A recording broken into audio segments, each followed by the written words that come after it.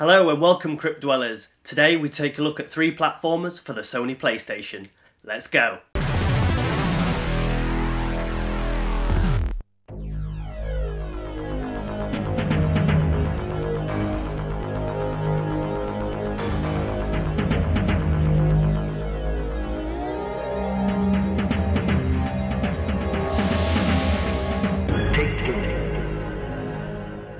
In the mid 1990s, 3D gaming was still in its infancy. With the 2D sprite based consoles like the Sega Mega Drive and Super Nintendo fading away like Marty McFly at the enchantment under the sea dance, companies were jumping on the bandwagon and vying for market share with the release of their own home consoles. Panasonic 3DO, Philips CDI, Atari Jaguar, and the rest all tried and failed. Born from the ashes of a collapsed deal between Nintendo and Sony to create a new CD console, with Nintendo still opting for cartridge based media for the Nintendo 64. The Sony PlayStation, which boasted a huge marketing campaign, even beating Sega and Nintendo's efforts that generation, was one that would succeed. Let's take a look back at a selection of 3D platformers released for Sony's pioneering juggernaut.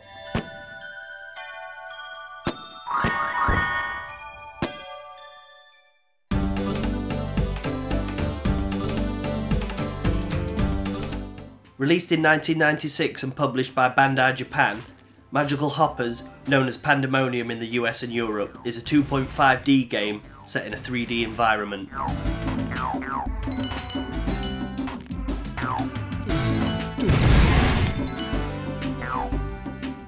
It features two main characters, Clam and Guppy, who must save the planet from impending doom.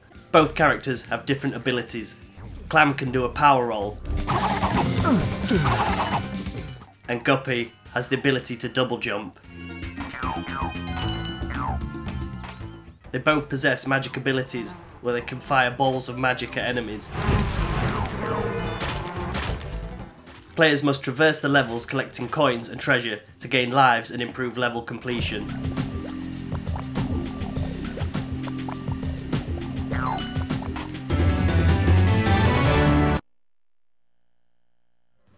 Even though the game offers a 2D gameplay, the levels really come to life and twist and turn creating a nice sense of scope and depth. The 18 levels present a fair challenge and offer up a boss fight every 6 levels. These are fairly fun and offer a challenge figuring out how to beat them.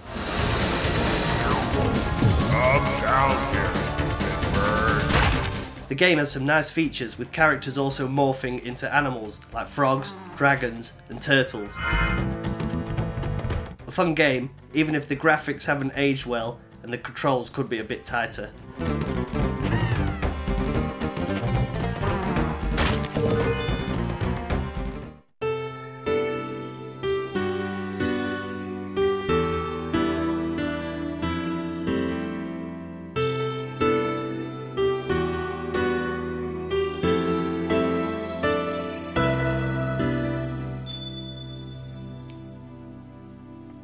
Klonoa, Door to Phantomile, was released in 1997 in Japan and published by Namco.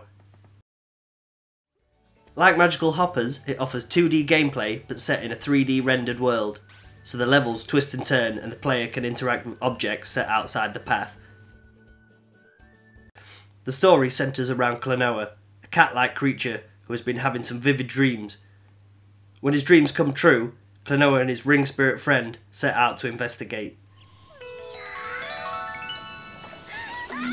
They encounter Ghadius and sidekick Joker, who kidnap a songstress Lephise while searching for a magical pendant. Klonoa learns of some news about the pendant and sets off in search. Gameplay is fairly straightforward. Klonoa can grab enemies with his wind bullet, a ring that shoots a gust of wind to grab the enemy, and can throw them in various directions or use them to jump higher. Klonoa can also float temporarily in midair. The game to me is beautiful, with excellent presentation and music and amazing character design. Really creates a sense of dreaming and wonder for the player. It's a shame the game didn't sell too well over here in the UK, but a sequel was released for the PlayStation 2, and a remake of the first game is also available on the Nintendo Wii.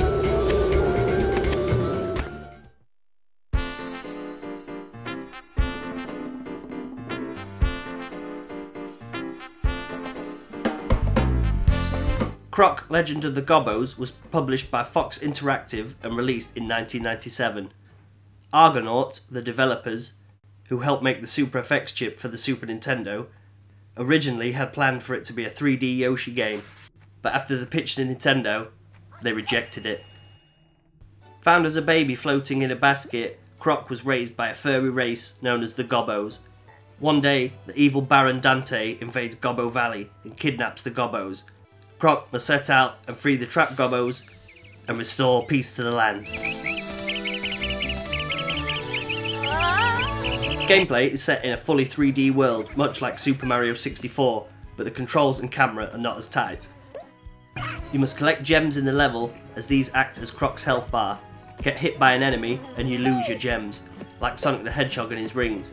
If you get hit again with no gems, then you lose a life. The level objective is to reach a gong and hit it to be transported to the next level. During the level, you can rescue gobbos, solve puzzles, and collect coloured gems to access a secret door and collect a hidden gobbo. You don't have to get all the gobbos to progress, but you will need to collect them all to get the best ending in the game. Croc can run and jump, but can also climb, which is a nice addition not seen in similar games. He can also sidestep and turn 180 degrees to do a quick turn. Levels are varied and offer a fair challenge, with boss battles also present at the end of some stages. Croc is a competent 3D platformer that is almost let down by some awkward controls, but offers a fair challenge and has some good music.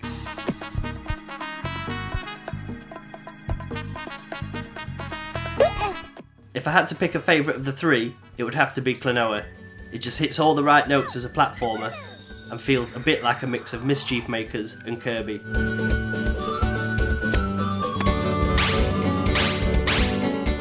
Even though the PS1 was more popular than the N64, none of these games quite come close to the greatness of Mario 64. But for those looking for a fresh challenge or bored with Mario 64, then you can't go wrong with Klonoa, Croc or Magical Hoppers. Please comment below on your favourite platformers for the Sony PlayStation. And if you like the video, don't forget to subscribe, and thanks for watching.